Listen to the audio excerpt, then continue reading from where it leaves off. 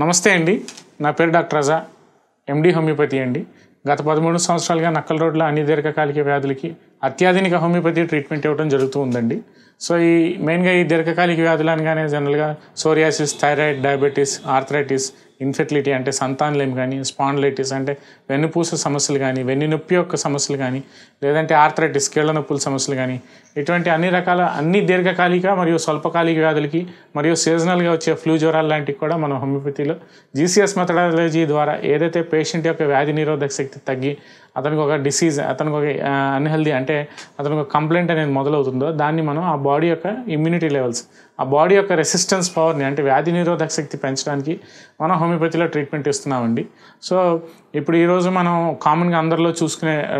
Topic అంటే అందరిలో చూసే హెల్త్ కంప్లైంట్ అనేది దానికంటే మన లైఫ్ స్టైల్లో వచ్చే హ్యాబిట్స్ వల్ల కానీ మన ఫుడ్ హ్యాబిట్స్ వల్ల కానీ లేదంటే మన ఎక్సర్సైజెస్ అవి సరిగ్గా లేకపోవడం వల్ల కానీ సో జనరల్గా ఊపకాయం ఒబేసిటీ అనేది కామన్గా మనం అందరిలో చూస్తున్నామండి. పది పదిహేను సంవత్సరాలు మనం వెనక్కి వెళ్తే. సో జనరల్గా ఒబేసిటీ అనేది ఆఫ్టర్ మ్యారేజ్ తర్వాత మనకి ఈ ఒబేసిటీ ఊబకాయం అంటే సడన్గా వెయిట్ గెయిన్ అయిపోవటం అక్కడ నుంచి హెల్త్ కంప్లైంట్స్ రావడం అనేది జనరల్గా ఒకప్పుడు మనం చూస్తూ ఉండేవాళ్ళం. సో ఇప్పుడు ఈ రోజుల్లో ఏంటంటే మన ఫుడ్ హ్యాబిట్స్ వల్ల కానీ మన ఎక్సర్సైజెస్ వల్ల కానీ మన ఇర్రెగ్యులర్ లైఫ్ స్టైల్ వల్ల కానీ మనం తినే ఫుడ్ హ్యాబిట్స్ వల్ల ఈ చిన్న అంటే irrespective of the age group అంటే అది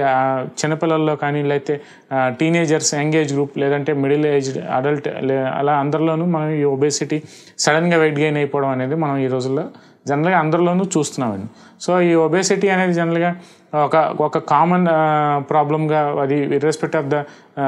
అది ఆడవారిలో అయినా మగవారిలో అయినా మనం సరి సమానంగానే ఈక్వల్గా రేషియోలో మనం గమనిస్తున్నామండి. సో ఒబేసిటీ అనేది ఎందుకు వస్తుంది? అంటే ఒబేసిటీ మెయిన్ రావడానికి గల కారణం ఏంటంటే మన బేసల్ మెటబాలిజంలో అంటే బిఎంఆర్లో తేడా రావటం అంటే సడన్గా ఫుడ్ హ్యాబిట్స్ మారిపోవటం లేదంటే ఎక్కువ జంక్ ఫుడ్స్ ఎక్కువ కార్బోహైడ్రేట్ ఫుడ్స్ అవి తింటాం స్వీట్స్ ఐస్ క్రీమ్స్ చాక్లెట్స్ ఎక్కువ తింటాం మిల్క్ ఐటమ్స్ ఎక్కువ తింటాం tinned canned foods freezed items ఎక్కువ తినటం వల్ల అంటే ఏదైనా సరే మన డైట్ ఇంటేక్ మీదే మన ఒబేసిటీ మన సడన్ వెయిట్ గెయిన్ మన బిఎంఆర్ అనేది పెరగటం తగ్గటం అనేది జనరల్గా జరుగుతూ ఉంటుందండి. సో దీంట్లో మనకి ఈ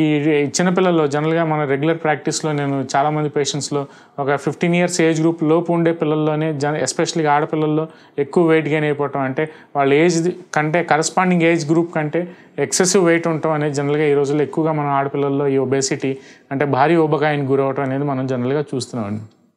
సో ఆడపిల్లల్లో ఈ టీనేజ్ పిల్లల్లో అది ఆడపిల్లలైనా మగపిల్లలైనా దాంట్లో ఏంటంటే మనం మెయిన్గా చూసుకోవాల్సింది ఫుడ్ హ్యాబిట్స్ అండి. అంటే జంక్ ఫుడ్స్ కానీ ఈ ఫ్రెంచ్ ఫ్రైస్ కానీ లైఫ్ స్టైల్లో వచ్చే ఆయిలీ ఫుడ్స్ ఎక్కువ తినటం వల్ల కానీ లేదంటే ఫ్రీజర్లో ఉండే స్టోర్డ్ ఫుడ్స్ ఎక్కువ తినటం వల్ల కూడా లేదంటే కూల్ డ్రింక్స్ కన్జంప్షన్ ఎక్కువ తీసుకోవటం వల్ల కూడా ఈ వెయిట్ గెయిన్ అనేది పెరిగిపోతూ ఉంటారండి. సో ఈ మనం చూస్తే చిన్నపిల్లలు అంటే ten twelve ten twelve years thirteen fourteen years అంటే fifteen years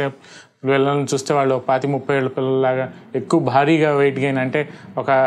ten to fifteen KGs weight ratio అనేది మన జనరల్గా మ్యాసివ్గా మనకి కనిపిస్తూ ఉంటుందండి. సో ఈ ఒబేసిటీని మనం ఎంగేజ్లోనే మనం కంట్రోల్ చేసుకోకపోతే భారీ ఈ ఒబేసిటీని అంటే ఈ వెయిట్ లాస్ని మనం ఈ వెయిట్ గెయిన్ మనం కంట్రోల్ చేసుకోకపోతే ఎక్సెసివ్ వెయిట్ గెయిన్ అనేది అయిపోతూ ఉంటే జనరల్గా మనకి ఏజ్ పెరిగే కొద్దీ మనకి health problems health sequential complications అనేది మనకి చాలా ఎంగేజ్లు అంటే below thirty thirty five years age గ్రూప్లోనే మనం అనారోగ్య సమస్యలు పాలవటం. మనం ఏదైతే టార్గెట్స్ మన లైఫ్ స్టైల్ మనకి ఏవైతే గోల్స్ అంబిషన్స్ ఉంటాయో ఆ అంబిషన్స్కి మనం రిసీవ్ రీచ్ కాకపోవటం. తద్వారా మన హెల్త్ కంప్లైంట్స్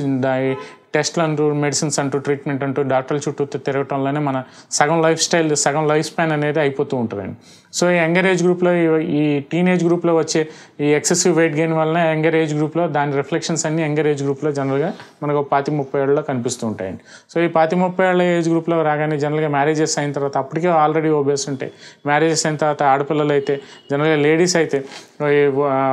పీరియడ్స్లో ఇర్రెగ్యులారిటీస్ రావటం లేదంటే హార్మోన్ సమస్యలకు గురవటం లేదంటే ఈ మనకి ఈస్ట్రోజన్ ప్రొజెస్ట్రాన్ లెవెల్స్లో ఇంబ్యాలెన్స్ వచ్చేయటం ఆడపిల్లల్లో జనరల్గా. షుగర్ అంటే diabetes hyper tension attend problems అవి రావటం కొలెస్ట్రాల్ లిపిడ్స్ ప్రాబ్లమ్స్ అవి రావటం అనేది జనరల్గా చాలా ఎక్కువగా రెగ్యులర్గా డే టు డే ప్రాక్టీస్లో మనం ఈ రోజుల్లో ఎక్కువగా చూస్తున్నామండి. సో ఎప్పుడైతే మనకి ఒబేసిటీ వెయిట్ గెయిన్ వచ్చేస్తూ ఉంటుందో బాడీ యొక్క ఇమ్యూనిటీ లెవెల్స్ తగ్గిపోవటం ఏదైనా ఆల్ ఆఫ్ సడన్గా మనకి ఏదైనా ఒక వైరల్ ఇన్ఫెక్షన్కి ఎక్స్పోజ్ అయినప్పుడు ఆ ఇన్ఫెక్షన్ అనేది ఆ ఇమ్యూనిటీ లెవెల్స్ తగ్గిపోవడం వల్ల లేదంటే సడన్గా ఆల్ ఆఫ్ సడన్గా వెదర్లో వచ్చే చేంజెస్ వలన కూడా. తద్వారా వాటిల్లో అంటే యంగర్ ఏజ్ గ్రూప్లోనే చాలా తొందరగా ఈ లంగ్ కంప్లైంట్స్ కూడా ఈ రెస్పిరేటరీ కంప్లైంట్స్ కూడా గురయ్యే హెల్త్ కంప్లైంట్స్ గురయ్యే ఛాన్స్ అనేది జనరల్గా మనం చూస్తున్నామండి. సో వీటిని ఏంటంటే మనం రెగ్యులర్ లైఫ్ స్టైల్లో మనకు కావాల్సిన life style food habit changes చేసుకోవటం మన బెడ్ టైం అంటే జనరల్గా ఆడపిల్లలు లేదంటే టీనేజ్ గ్రూప్లో ఎవరైతే ఉంటారో లేట్ నైట్ ఫోన్స్ అవి చూడటం లేట్ నైట్ మొబైల్ వాచింగ్స్ ఈ గ్యా ఎలక్ట్రానిక్ గ్యాడ్జెట్స్ మీద ఎక్కువ డిపెండ్ అవటం స్లీప్ సైకిల్స్ అవి మారిపోవటం లేదంటే మనకి ఎక్సర్సైజ్ లైఫ్ స్టైల్ మనకి రెగ్యులర్ మనం ఏదైతే రెగ్యులర్ రొటీన్గా కొంత కొంతసేపు మనం మన కోసం మనం ఎక్సర్సైజెస్ అవి చేయకపోవడం వల్ల కూడా ఈ ఒబేసిటీ అనేది ఎక్సెసివ్ వెయిట్ గెయిన్ అనేది రావడానికి ఎక్కువ ఆస్కారం ఉందండి సో వీటిని అన్నింటినీ మనం మాడిఫై చేసుకుంటూ ప్రాపర్గా ఒక టైం చార్ట్ అది తీసుకుంటూ తద్వారా మనం హోమియోపతి డాక్టర్గా హోమియోపతి ట్రీట్మెంట్కి అప్రోచ్ అయినప్పుడు అంటే ఒబేసిటీ అది ఫిజియలాజికలా లేదంటే ప్యాథలాజికలా ఫిజియలాజికలా అంటే తన ఫుడ్ హ్యాబిట్స్ వలన తన ప్రాపర్ లైఫ్ స్టైల్ లేకపోవడం వలన తన ఎక్సర్సైజెస్ అవి లేకపోవటం వలన ఒబేసిటీ అంటే బాడీలో వెయిట్ చేంజెస్ వచ్చినాయా? లేదంటే అతనికి ఏమన్నా థైరాయిడ్ కానీ లేదంటే ఏమన్నా యంగర్ ఏజ్ గ్రూప్లో ఏమన్నా అతను డయాబెటీస్ కానీ హైపర్ టెన్షన్ కానీ ఏమన్నా లిపిడ్ ప్రొఫైల్స్లో కొలెస్ట్రాల్ ప్రాబ్లమ్స్ అవి ఏమన్నా ఉండటం వల్ల ఇలాంటి వాళ్ళ వలన పెథలాజికల్గా ఏమన్నా ఒబేసిటీకి గురయ్యడాన్ని మనం అన్నీ ప్రాపర్గా ఎవాల్యుయేట్ చేసుకుంటూ మనం ట్రీట్మెంట్ అంటే హోమియోపతిలో ఈ ఫైటోలక్కి అని కోనియం అని according to the body constitution of the patient of the individual అంటే ఆ ఇండివిజువల్కి యొక్క బాడీ కాన్స్టిట్యూషన్ బట్టి మనం జీసీఎస్ మెథడాలజీ ద్వారా మన పేషెంట్ యొక్క వ్యాధి నిరోధక శక్తి పెంచ పెంచడానికి ట్రీట్మెంట్ ఇచ్చుకుంటూ లైఫ్ స్టైల్ మాడిఫికేషన్స్ వాళ్ళకి కావాల్సిన yoga meditation exercises regular day to day habits food habits sleeping habits అన్నీ మార్చుకోగలిగితే డెఫినెట్గా within a short period of time మనం ఈ బిఎంఆర్ని తగ్గించుకుంటూ ఈ బాడీ యొక్క షేప్ని మనం ప్రాపర్గా కరెక్ట్ చేసుకుంటూ మంచి quality of life healthy better life ఫ్యూచర్లో మనం ఎటువంటి అనారోగ్య సమస్యలు పాలవకుండా మనం ట్రీట్మెంట్ తీసుకుంటే ఒక సిక్స్ మంత్స్ టు పార్టీ ఎయిట్ మంత్స్ వరకు మనం ట్రీట్మెంట్ చేయగలిగితే డెఫినెట్గా మనం ఒక హండ్రెడ్ పర్సెంట్ మంచి